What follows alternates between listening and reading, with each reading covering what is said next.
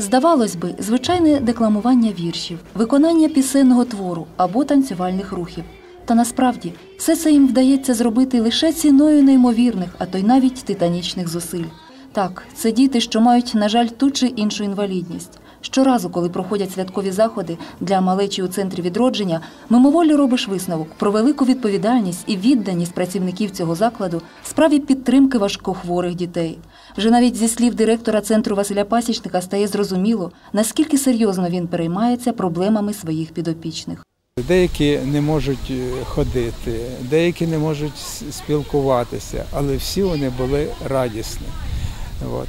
І дівчинка, яка от співала пісню, вона е, так би говорила: я важкохвора, я не можу ходити, але я така ж, як ви. Допоможіть мені стати в цьому суспільстві такою ж, як, як і ви, повноцінною.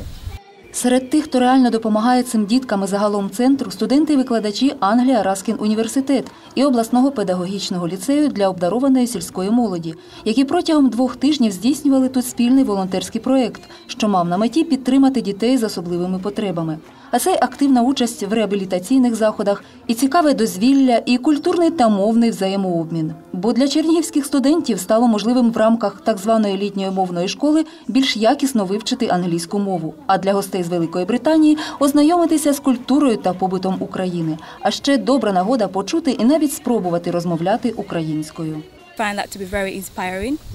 Э, Центр замечательный, реле- реабилитационный, это чудесное место, но также меня поразило, как здесь э, дети э, э, любят учиться, вот э, лицеисты, они все время хотят что-то узнавать, э, что-то новое изучать, они все время куд- куда-то едут э, на всякие экскурсии, это очень интересно. Мені дуже сподобалось, оскільки в живому середовищі мова якби вивчається більш ефективніше.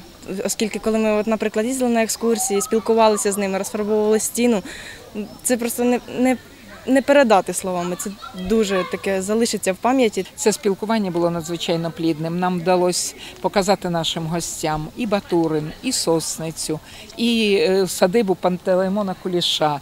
Ми приймали гостей на своїй агробіостанції. Вони були зачудовані цим садом, який є перлиною Ялівщини вже сьогодні. Ми разом з гостями нашими англійськими вклонялись е, Небесній Сотні на Майдані, брали участь у фестивалі, етнофестивалі Країна мрій. Та найголовнішим завданням спільно реалізованого проєкту було створення для підопічних центру масштабного малюнку, який би мав великий позитивний вплив на дітей, що проходять тут реабілітацію. На одній е, стороні гаражу, де б е, для дітей на цьому майданчику ми проводимо різні заходи.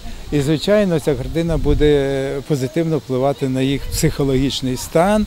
А ви знаєте, якщо дитина в хорошому настрої, в неї і набагато краще проходять реабілітаційні заходи. У створенні яскравого малюнку брали участь і колишні пацієнти закладу. Зокрема, це Марина Левченко, яка зараз навчається в Київському художньому ліцеї. Загалом же в благодійній акції взяли участь шестеро студентів і викладачів з далекої Британії. Усі вони щиро пройнялися культурним надбанням та нелегким сьогоденням України. Все це можна було побачити як у демонстрації української символіки, так і в намаганні відтворити деякі наші народні мелодії та пісні. Тому на згадку про Україну та успішно здійснений благодійний проєкт усі вони отримали символічні подарунки й нагороди.